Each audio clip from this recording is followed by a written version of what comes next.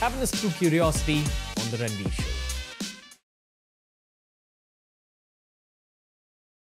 Since I've met you and since I've begun my Bhairav sadhana, Hmm. uh, of course there have been changes in my life, and I've spoken about this on the show Right. multiple times. I've made a whole podcast on it. Feel like material wishes have been fulfilled like pretty fast, but that's not the Hmm. main blessing. The main blessing is detachment. Hmm.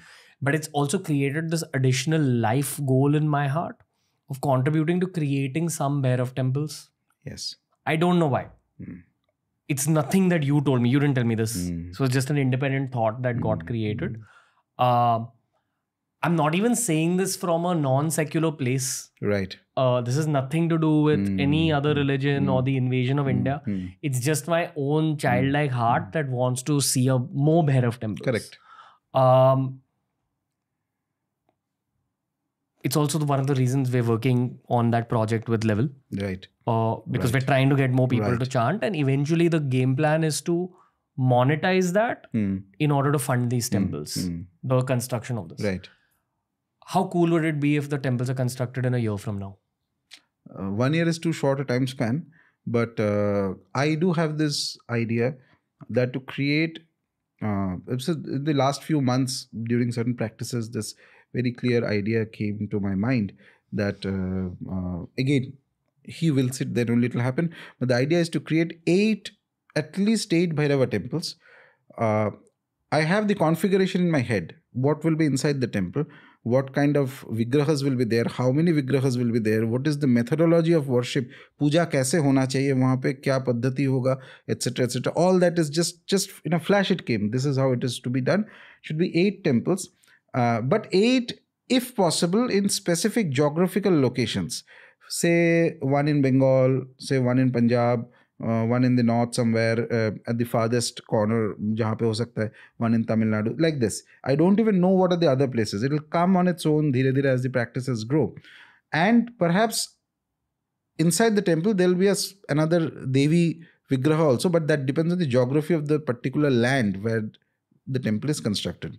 Inside that uh, I will not go into the detailed architecture that I have in my head uh, but what I feel is that if this this project gets along and it will take time because obviously eight temples are not a uh, you know and I want it to be not small temples. Right now the Bhairava temples that you have even the best ones are very small uh, on the roadside something like no this should be something grand something so uh, exquisite so beautiful so powerful both ritualistically and aesthetically that for centuries it is going to help people connect to Bhairava Tattva okay and the other thing that will happen is that his protection will start for the whole nation Okay.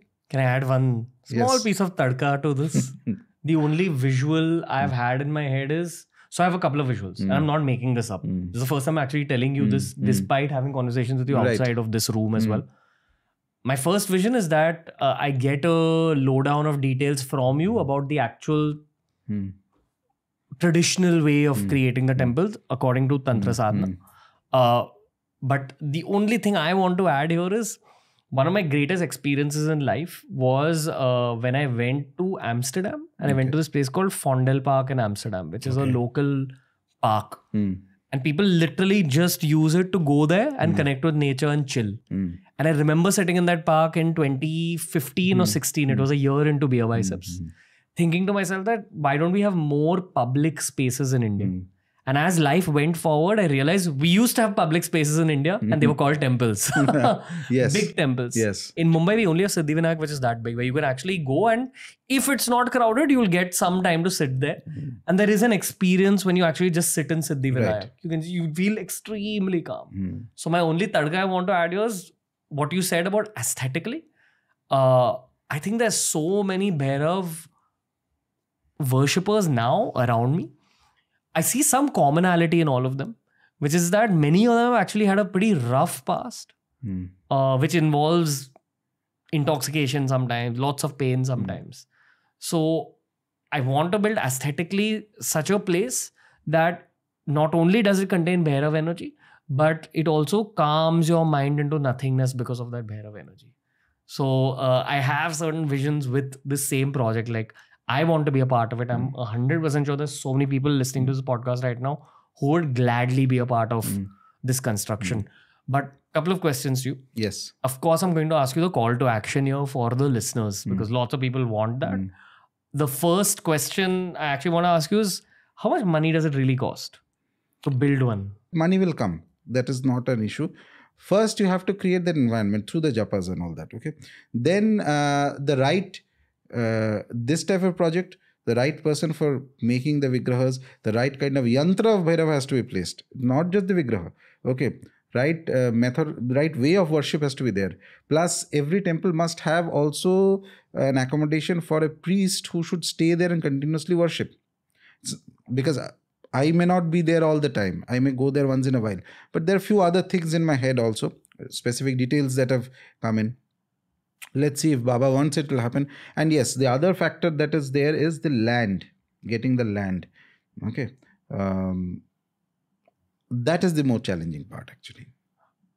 But those geographical locations you spoke about, this is very history channel domain, but will it be kind of linked? But like I recently found out, actually yesterday from Nilesh Oak, that Ujjain lies on the Tropic of Cancer, Ha. which I found so fascinating. Hmm. No, so what I am looking at at this moment, I still have don't have a full idea of the all the eight places, but it has to be closer to the border areas. Because Bhairav traditionally is a he will protect the border areas if the if this these kind of if this happens eventually in the long run if this if this gets executed it will have a very strong impact on as i say it will have an impact on the nation it's not about an individual anymore. protective impact, you mean?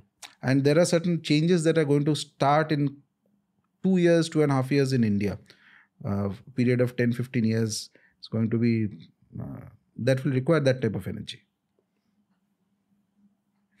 Do you want to say anything? No, I will just say that Baki, whatever Baba wills it, if he wills it will happen. So I I go about all these things with a certain degree of uh, uh, enthusiasm along with detachment, which means tomorrow if it doesn't happen, it's fine. It's not going to affect my practice or my connection to him or anything like that. He is the boss.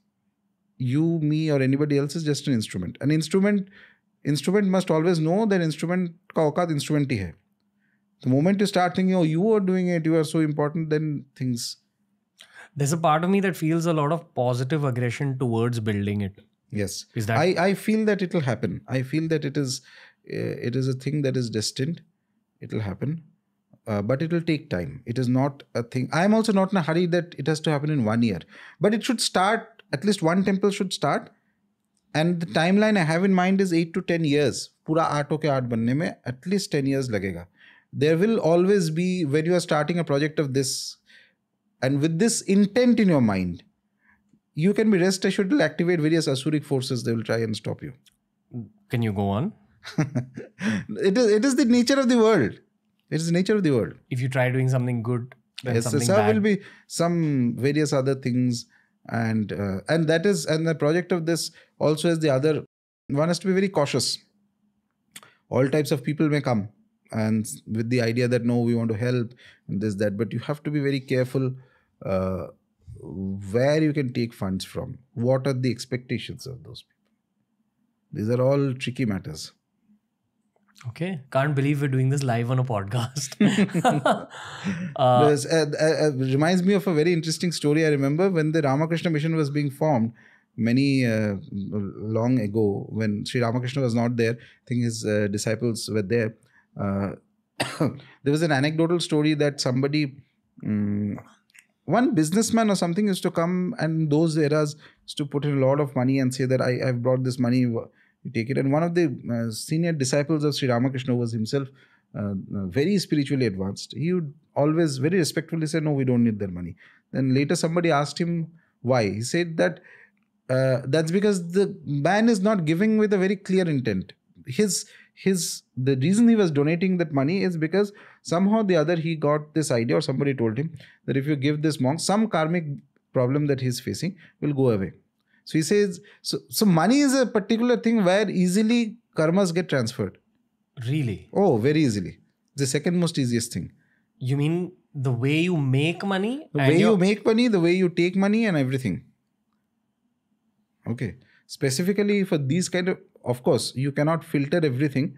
That's the not possible humanly. But on a broad level, if there are people who are willing to say suddenly comes in, uh, there may be a lot of people with a lot of money. I'm sure the world has a lot of rich people. Uh, somebody thinks that I'll go and give a huge amount. So it is always better to uh, not rush into that. Think about it, meditate on that, and follow the guidance that comes from the deities. Do not use your own mind. Do not, with money, greed is a problem. You have to be very careful. It is all right if the temple takes 20 years. No need to rush. And in fact, without naming anybody, I was having this discussion with a spiritual friend of mine some days ago. And that's for generic spiritual organizations, all the ones that I see today. As such, I have nothing for against nothing with them, neither with their practitioners.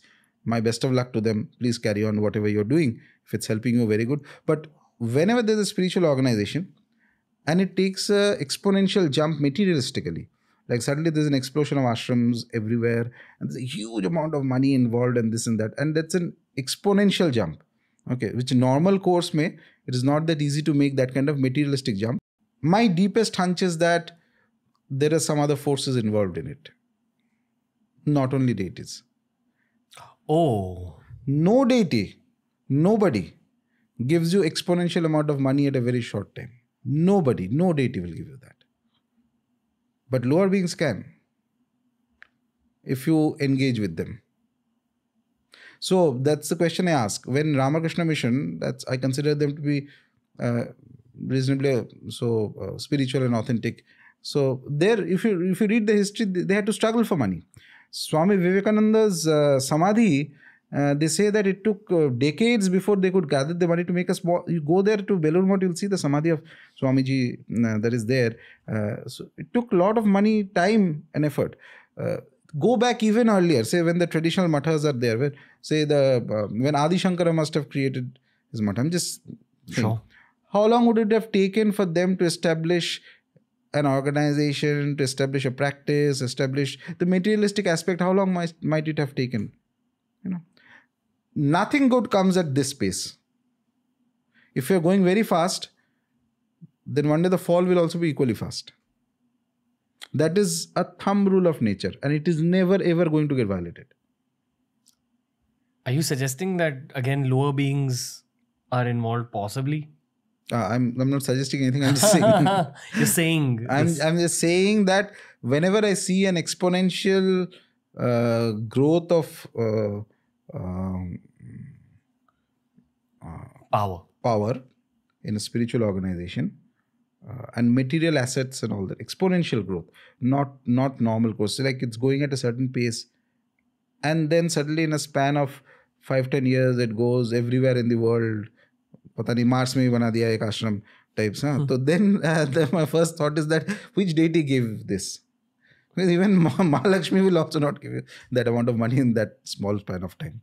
If you're a businessman and you have done well, that I understand. That process can give you. And that I recognize also. You might have done either or that thora corruption, that's okay.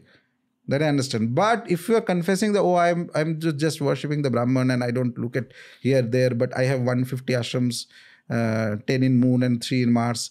So then I think कि यहाँ से कैसे बन गया कहाँ से बसा है Hey, if you enjoyed this clip from the Ranveer Show, we've uploaded a ton of other clips related to a ton of other topics. So explore the channel because there's something for everyone.